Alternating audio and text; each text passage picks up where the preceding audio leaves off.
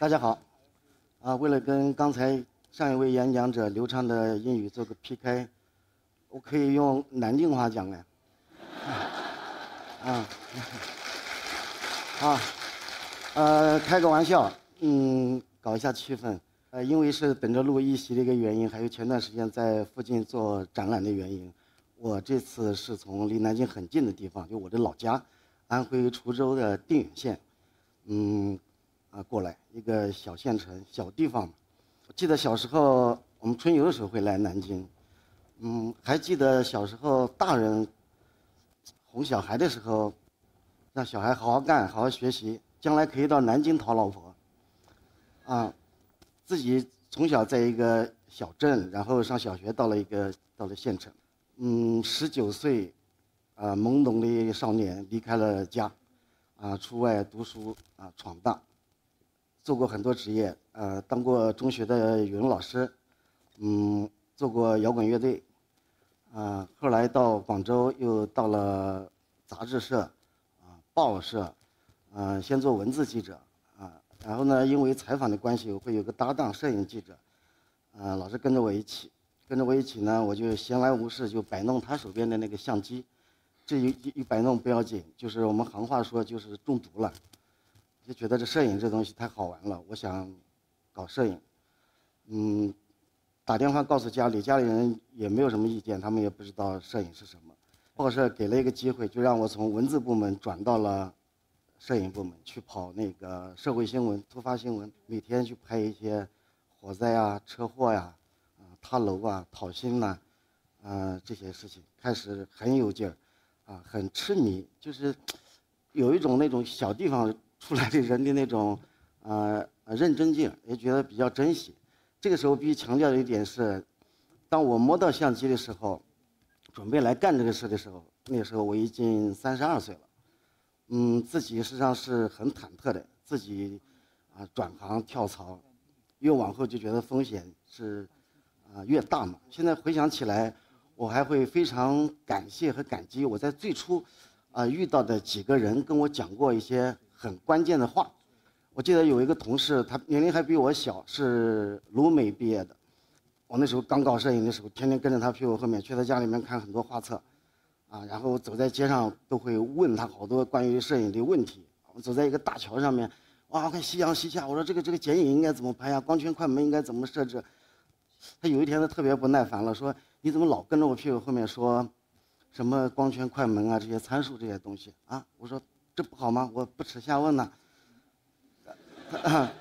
他说他很无情地说，这东西你说的越多，事实上只能说明你越不成熟。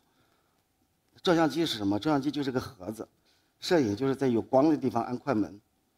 啊哦，我觉得这是一个最早破除了我对这个器材，呃那个华丽梦想的一个人。后来还有一个另外一个部门的一个领导。嗯，他以前做过摄影师，但是后来已经不做了，转到别的部门去了。有一次我们在那个休息的时候，他在看报纸，他就聊：“哦，严明，你现在要来呃做摄影师了是吧？”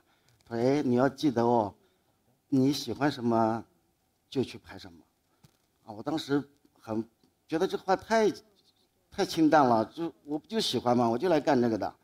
啊，再后来有另外一个，就先于我投身所谓搞艺术的一个。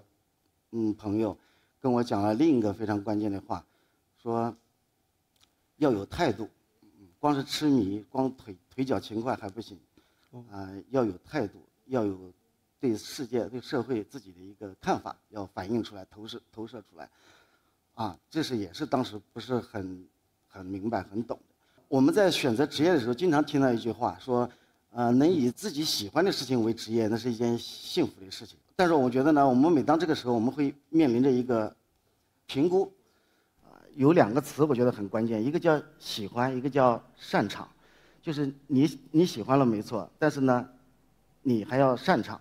我们小时候打篮球，打着打着发现我长不高了，啊，你都没有一米九、两米，打什么呢？那就要改踢足球吧。踢足球发现那些国外运动员一米八都是矮的，更多的人事实上是在把。不喜欢的事情做擅长了，啊，你反复一想，这不就是上班吗？啊，呃，我不想上班了，我辞职了。我告诉领导说，我要去实现理想，我就要去看世界。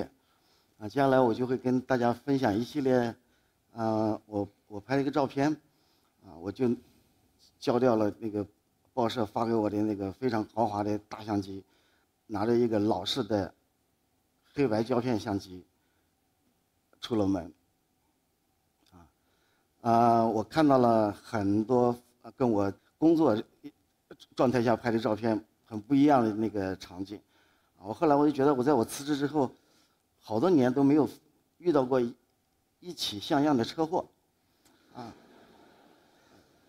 嗯，这我在长江边上看到了从船上面被呃运下来的猪，那个赶猪人非常辛苦的，呃，在淤泥里面想把他的猪赶出来。这我在河南冬天在乡间的道路上遇到一个小个子，嗯，骑着一个童车啊，趴在那儿歇脚，啊，我跟他。就保持这个距离对望，然后拍了这张，大家彼此都没有说话，我就离开了。这是三峡夔门的一只呃落寞而有有形的猴子。这个地方就是李白就朝思白帝彩云间那个地方。据说后来这地方已经没有猴子了，都是从什么峨眉山啊，什么那些地方引进的啊。你底下那个游船游客会来来来看嘛啊，两岸青山嘛。他们就负责在这里，啊，啊，他们 群众演员，他们负责提不住，啊，嗯，这是我在长江上面坐那种铁皮那种帆船，农用的那种帆船，赶船还没有发，有一个女孩啊先上船了，在船上睡觉，啊，开始这张照片不经意，嗯，拍的时候不太经意，后来发现这个女孩她睡觉的时候啊，你看她的手。啊，这是我觉得这是我们出门的人容易感受到的一个，她一个手她是插在口袋里，另一个手还是捂着这么这么睡觉。那我们在外面嗯走动的时候，实际上也会很焦虑或者说很小心，嗯，我们也不会这么贸然的在这样的情况下睡觉。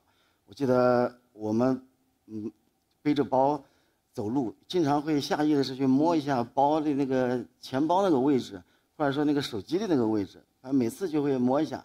呃，摸到那个轮廓，表示，嗯，他还还在，啊，一直都是最后都摸摸出来一个轮廓，小偷一看就知道那是手机。啊，这是在重庆郊区的一个山寨的游乐场，一个下班的女演员，嗯，作品的名字叫《下班的米妮》，啊，米老鼠的老呃女朋友叫米妮。事实上，她是在游乐场里面跟游客做那种合影小生意的，跟小孩合影。收个三块两块钱。那天傍晚，没有人了，结束了。她走走下那个山坡，我跟在后面拍了几张。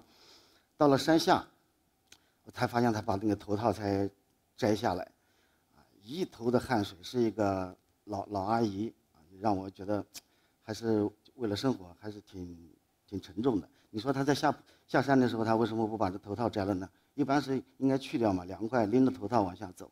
我想他在这个下山的过程中间，他肯定还想再试一下运气，啊，再做当天最后一次啊努力。这是在路边一个啊落寞的一个等车人，一个残疾人。在北方农村，每年有那种庙会啊，我们小时候老家都会有这个，啊，有那些什么呃武汉传的呀，什么什么鲤鱼精、河蚌精。哎呦，发现还有两个老农民穿戴的。这种仙鹤的这个造型，我觉得这是我们这个文化的一个意象，而且很很感兴趣，拍下了它。这是一个寺庙正在建一个围墙，令我非常吃惊和佩服的，竟然有设计师啊，有怀着如此浪漫的心，因为把这个围墙设计成啊这个样子，竟然还实施了，嗯，呃，但这个墙啊，明显就是防君子不防小人嘛。啊，但是我我喜欢，这是在重庆长江上面，三峡没有蓄水之前，有礁石露出来，后来这个礁石都被炸掉了。现在这个人的头顶上，啊，已经修了一个大桥。这是鄱阳湖里面的大孤山，啊，上面有一座宝塔，嗯，我觉得这也是很有我们自己中国的一个意象啊，是我们的浮屠。这是我路过的一个寺庙里和尚的宿舍。啊，墙上那些石灰块斑驳的脱落了，啊，那和尚可能也是闲来无事，在上面添了几笔，啊，应该是他心目中的啊南天门。这是在一个江边上面一个抽沙机，我当时记得这个抽沙机响声很大，震动也很大，我不知道那个看抽沙机的工人怎么有那个闲心会，呃，在上面躺着，可能有一些按摩效果。啊，这是在乌江边上，呃，涪陵，一个矮胖矮胖的一个大妈从江边的船上面呢，就是，呃，接了一条鱼，就拎着，呃，往远处走。我就觉得挺有意思的。呃，首先吸引我的呢，你看这个鱼的拴法，我们一般拴鱼拴嘴巴，他拴是那个脊背，我觉得就蛮有型的。我说跟着他，看有没有机会我来拍张照片。啊，我也不吭声，就远远地跟着。他走快，我也走快；他走慢，我也走慢。啊，终于有一刻他崩溃了。啊，他突然停下来说：“好嘛好嘛，你拍嘛。”啊，啊，啊，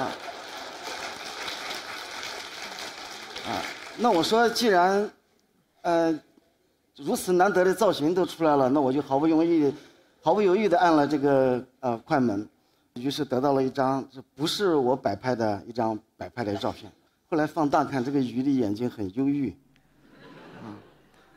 啊，啊，这是在乡间舞台上一个扮演耍大刀的八路的，是一个杀马特青年。嗯，啊，这是这是我当时在拍别的地方，是另一面。我突然发现身后有异动。啊，等我一转身来的时候，在我的取景器里面就是这半半个。啊，半个就半个吧，没有什么不可以拍啊，就就就拍下了，我觉得挺好看的。他那个啊，腿是绷着的啊，尾巴是拱起来的啊，各种直线曲线都具备了。这是在一个啊郊区的垃圾场，有一个拾荒者，其实他并不是一个精神病，你看他戴着护袖，戴着手套，他是在那捡东西，捡铁丝啊，啊木板啊，呃纸板啊那些，呃，我就远远的。我几乎在那陪了他将近一个钟头，就在那个冷风中间，也彼此都没有说话，啊，后来他捡了一支烟点上了，在那抽。促使我拍下这张照片的是远处的一个游乐场，啊，升起来一个热气球，我觉得它总让人感觉到，并没有那么彻底的一个悲凉，总觉得还有一些希望和光明的东西在在在升起吧。在北方的一个农村土地庙。呃，墙上画的彩色的这个画，嗯，古代美女图，倒不一定是，呃，古迹了，嗯，但是你看这些游玩的人，嗯，毫不留情的在上面，啊，刻下他们曾经来过的这些这些印记。说到这里，其实我想讲的是，呃，我投入了一个梦境的一个江湖啊。我经常跟别人说，啊，我在这个江湖中间，事实上我获得了一种自由。我跟别人打过一个比方，我说我拍照，我现在终于可以怎么拍了呢？就像我打枪一样，射击一样，我都是砰一声在在墙上先打下一个弹孔，然后我拿着笔跑过去，啊，画圈，画十个圈儿，啊，这样的话呢，我的每一枪都是十环，啊，这这这说明什么问题呢？就是我我我走到了一个。就由我自己可以说了算的，就我的码头我做主的一个江湖里去了。就是这种自由，实际上是是一种自主，它让我感到嗯非常的啊兴奋啊，就隐隐约约就像某种使命一样的。我就觉得，嗯，我我不能回去上班，我要继续嗯拍下去。这张照片是在河南浚县旁边那个山坡上有一个古庙，啊，那天是傍晚，嗯，突然下大雪了。哎呀，我说我要出去拍拍照啊，就拿着相机我就。冲到那个山上，进了这个庙。我从旁边转过来的时候，事实上当时我吓了一跳，啊，这里有一个啊无头将军，就真人大小，啊，刚刚下了一些雪，落在这个肩膀上，那个肩膀上那些雪的颜色，就像从头上照下来那些呃亮色的那种高光一样，而更凸显这脑袋肩膀上面空无一物，啊，但他还像我在做这种抱拳拱手的一个动作，在这个风雪之中。我在我的一个书里面有一段描写，我觉得当时我很、很、很郁闷啊，脑袋哪去了？我们的祖先给我们留下这样的一个好东西，那肯定在疯狂的年代被人敲掉了，或者是被后来的奸诈小人敲掉拿去啊卖钱去了。总之后来就就是干了这个坏事的人、恶的人，实际上是是我们，实际上是我们在在奔跑的时候跑丢了魂，这个是非常令人呃痛心的一件事情。他给我们呈现的是一个嗯残像。有一年的春节过后没几天，我在呃四川呃大凉山里面转悠，看到了一个车翻在那里，啊底下竟然有个小伙子带了铺盖在那里睡。我说这车你的吗？是啊，我在看着。我说那你没有打电话喊喊救援啊，喊那个交通部门来救援？啊打了，现在是过年，呃，他们告诉我要四天之后才能来呢。然后他就在那个晚上就那么冷的时候就在那里睡着，我就默默地给他拍了他他这个苦笑的样子。我记得临走的时候，他在他在他那个背里面还摸出四个馒头，他说你要要不要吃？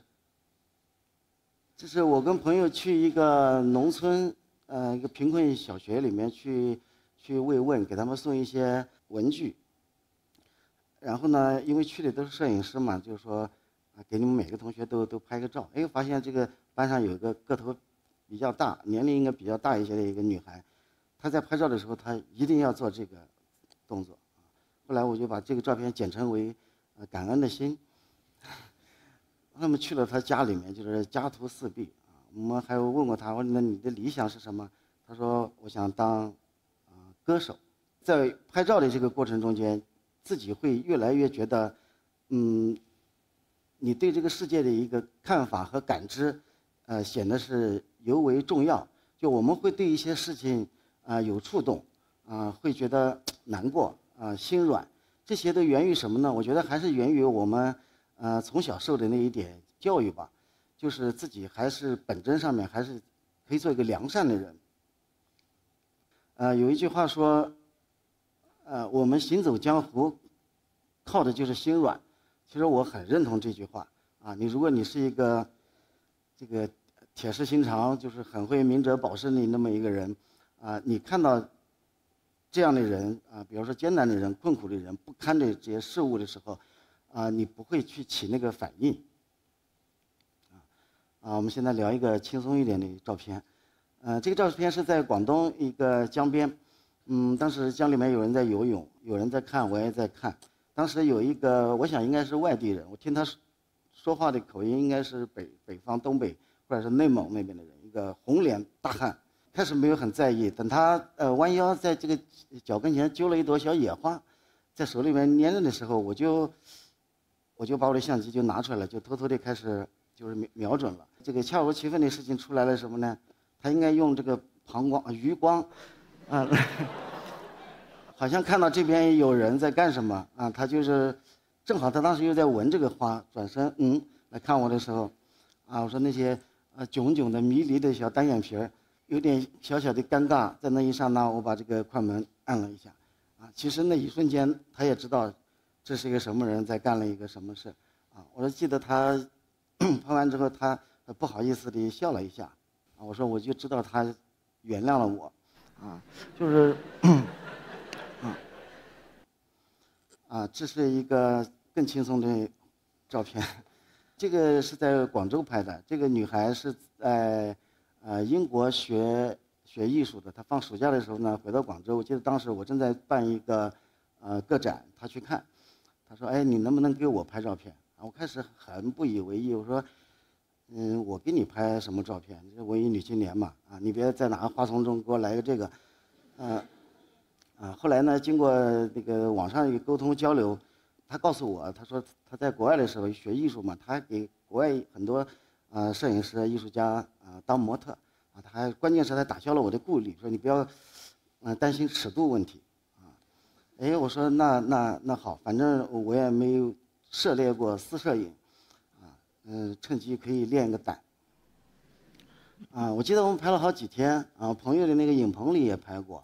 啊，荒郊野地里也拍过，啊，这一张照片呢，其实我觉得是唯一留下来的时候满意的照片，是在他自己的那个房间里，他的闺闺房里，啊，而且呢是在拍摄种种呃这个换衣服的过程中间的一个啊一个抓拍，后来我还把这个照片很认真的就是手工放大，还让他带回啊英国去，啊，他也很满意。他说，嗯，我其实就想看一下，就是中国摄影师拍，呃，我是什么样的。他说，就是喜欢这张，啊，很东方。我在拍他这张照片的时候，令我非常难忘的一个事情就是我背靠着墙，我拿相机的手是在，啊，瑟瑟发抖。我觉得发抖是好事啊，说明什么呢？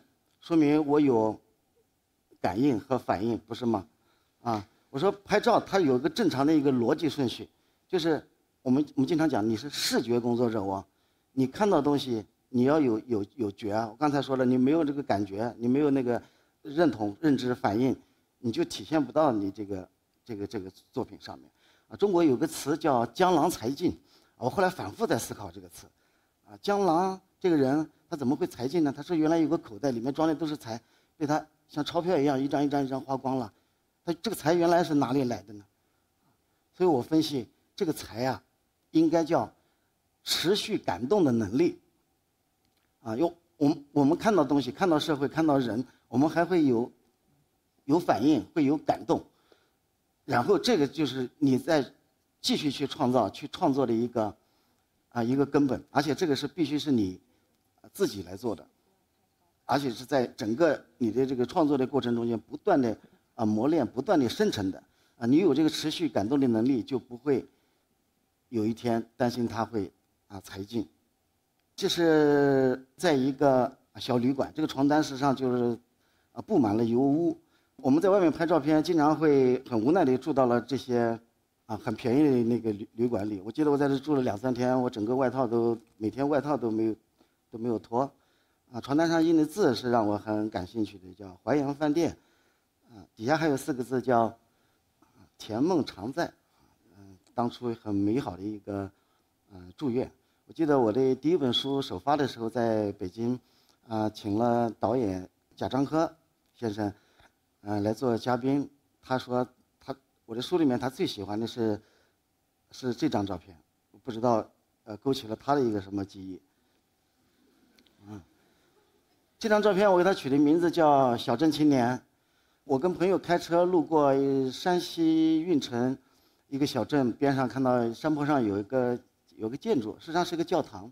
我跟朋友就停了车进去逛了，啊，在里面碰到几个本地的年轻人吧，啊，有有有两个女孩，还有这个小黄毛，啊，一个一个男孩，啊，我非常难忘的就是他围着我们看着我们的相机，他非常的兴奋，啊，就是问这问那，他告诉我们，他说他以前在镇上的影楼干过。啊，你们拿的相机，其实上我都摸过的，啊，就是他给我的那种，那种热切、热心的那种感受，就是令我很难忘。我们聊了很多，在那里逛，最后走的时候，依依不舍的话别，啊，合影留念，啊，然后我说那我给你拍两张呗，啊，啊，这个动作不是我教的，他自己做的啊，啊，就就突然，果然应该是他是当地比较文艺的人啊，他就。啊！突然来了这个造型，就是那个呃手掐着。我记得我后来在整理照片的时候，发现我电脑里有两张，一张是左边，啊，一张是右边，啊，两个几乎是互为镜像，就像就像那个可以做成门神两门板上两，啊，可以一边一个，嗯，你仔细看他的那个眼神，就是很坚很笃定啊，啊，我想那一刻他一定觉得自己是谢霆锋或罗志祥附体。刚才说到贾樟柯，我想很能理解的一个事就是，我想他自己也是一个小镇青年、小城青年，对不对？他后来做的事情跟他的自己的渊源、啊家乡、啊成长经历都非常有关系。我记得他在我那个发布会上还说了一句话，他说：“严明他其实他很知道用与我有关的事情来做创作，来做做艺术。”啊，我记得我当时。我立即就抓了一本新书，在那个扉页上面就记下了，啊，这四个字叫“与我有关”。我觉得这个词简直是太重要了，它对我，我觉得也是一个，呃，一一个一个总结性的一个提醒吧。这是在重庆的朝天门码头上面，呃，傍晚拍了一个贵妇。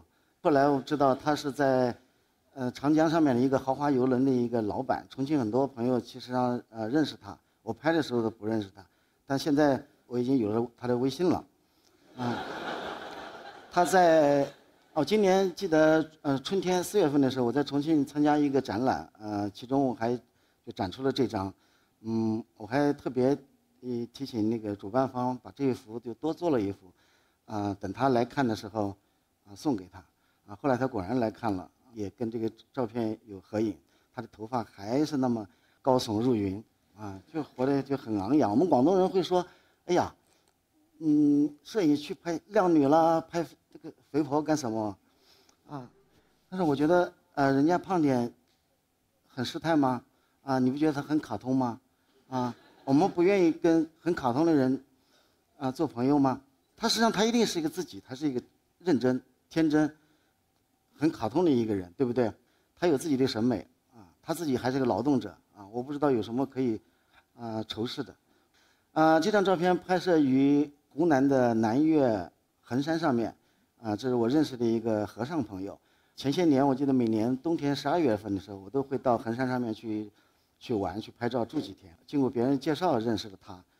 很有意思的是，他当时他自己也是喜欢摄影，他也有相机的，啊，每次还出来陪我们去拍，告诉我啊哪里后山那个红红叶啊，啊有红叶了，我们去拍红叶；哪里下雪了，我们去拍雪景。啊，其实他不知道我不太喜欢拍那个。这是在最后一次我去衡山的时候，发现他告诉我，他说：“呃，现在已经不拍了。”最后就送我出来的时候，就很落寞的，大家辞行的时候，拍了这张照片。他说：“我现在在搞，呃，是喜欢上书画了，啊，练书法画画啊，已经在寺庙里面在办僧人书画作品展了。”嗯，我怎么劝他，他又都都都都不再出来。当时，呃，他搞摄影的时候也是。很认真，他攒钱去买镜头，啊，跟我们 都一样，还买了很大的那种登山包，就是比脑袋还要高的，还把那空包背起来给我看。杨老师什么时候到我的老家，啊，张家界那边，我们一起去创作啊，这个干一票大的，嗯，嗯，但是辞行的时候就是很无奈的，就少了一个影友啊。我说我也没有办法，我也不能去跟一个和尚去说坚持和放下。嗯，